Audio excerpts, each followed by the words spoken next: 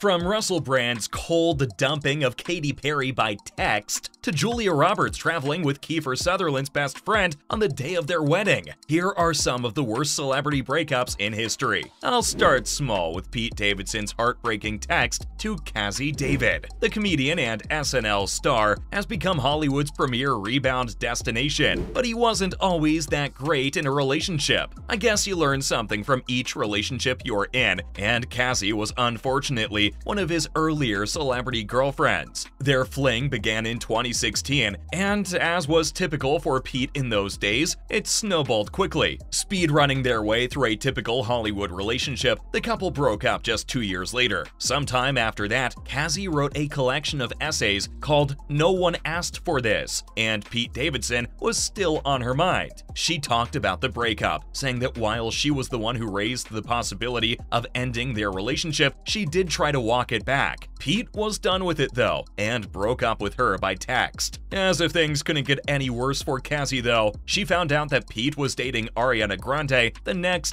day. That must have raised some uncomfortable questions in her mind. For what it's worth, his relationship with Ariana had a similarly rapid build-up and breakdown, and her breakup story is relatively mild compared to some of the ones we'll be looking at. Imagine being Laura Dern and coming to find yourself suddenly fiancé-less. If I asked you to think of Angelina Jolie's worst relationship story, you'd probably come up with something to do with Brad Pitt. But before there was Brangelina, there was Billy Bob Thornton. Some of y'all might not remember this, but Angelina's relationship with Billy Bob was a favorite topic of the gossip world. That was partly because the relationship got off to such a wild start. See, before this couple started dating, Thornton had been in a relationship with Laura Dern for three years, and the couple were now engaged. While Dern was away shooting a movie, Thornton was shooting Pushing Tin with Angelina Jolie. And before Laura could even find out about this affair, her fiance had already married someone else. Of course, she was extremely upset when she returned to her home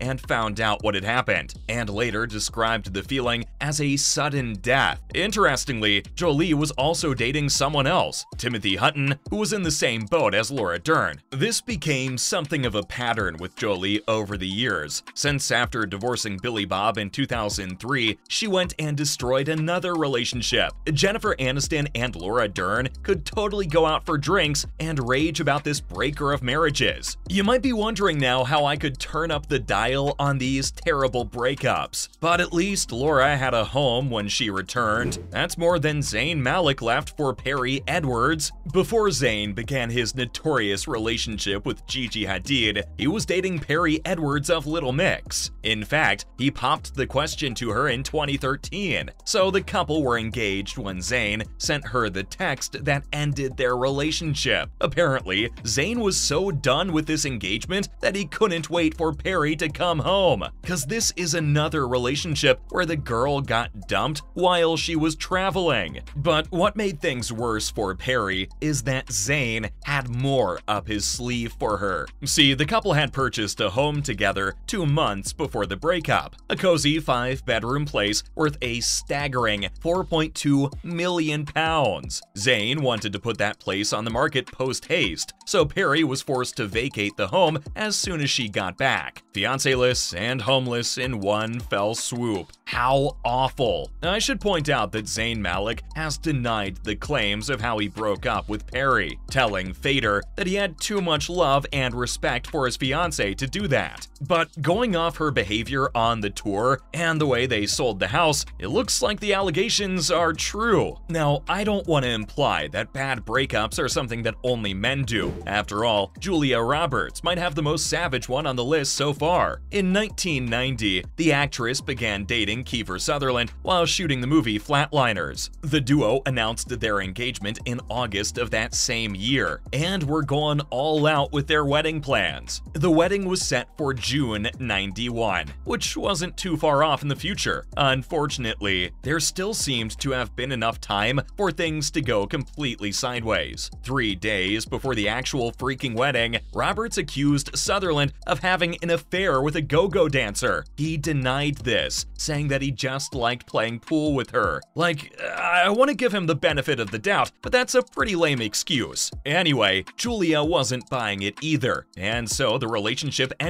On the day of their wedding, people observed that Kiefer was actually moving stuff out of Julia's place, while the actress was living it up in Dublin with Kiefer's best friend, Jason Patric. I wonder if Kiefer really was the one doing the cheating in this situation. In hindsight, Sutherland has been pretty gracious to Roberts and Patric about the whole situation. He acknowledges that he was rushing into the relationship and appreciates that Julia saw that they weren't ready for marriage yet. All things considered, he still thinks that Julia is one of the funniest people he knows. Hey, speaking of funny people, Katy Perry wasn't laughing when she got dumped. Did I say dumped? I meant divorced. By text. Russell Brand is almost more famous at this point for his legendarily awful breakup with Katy Perry than he is for his comedy. It's one thing to end a relationship by text, even if you're engaged to your partner. Divorcing them by text, though, is a whole new level of terrible. Brand met Katy Perry at the 2008 VMAs, and a month later, the train had left the station. Two years later, the two of them were hitched. Things seemed to have been going pretty well for the two of them, which is why the gossip world was shocked when the couple announced their divorce in 2012, just 14 months into the marriage. They cited some vague, irreconcilable differences, which meant that something was definitely going on behind the scenes. Sure enough, Perry explained that Russell is a smart man, and she was in love with him when she married him, but then added that she hadn't even heard from him since he texted his intent to divorce in 2011. You'd forgive Katy for being very vengeful about what he did, but she was surprisingly understanding of his reasons for divorcing her. He'd married Katy while she was at the peak of her career, and she struggled to make time for him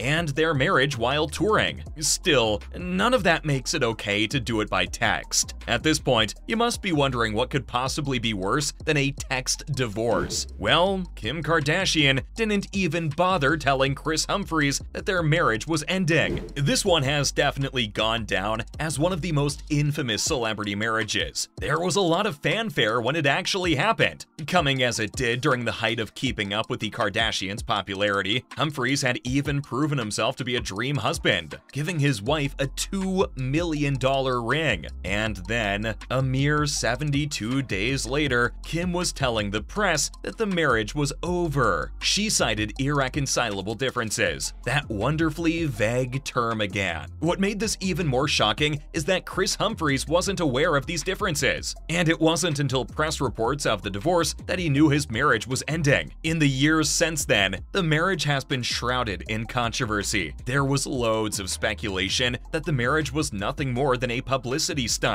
a media event to promote the show and the Kardashians' other businesses. Someday, someone might release damning evidence of this, and Kris Humphries might be in for yet another shock from his marriage. Those are all the awful celebrity breakups I have for today.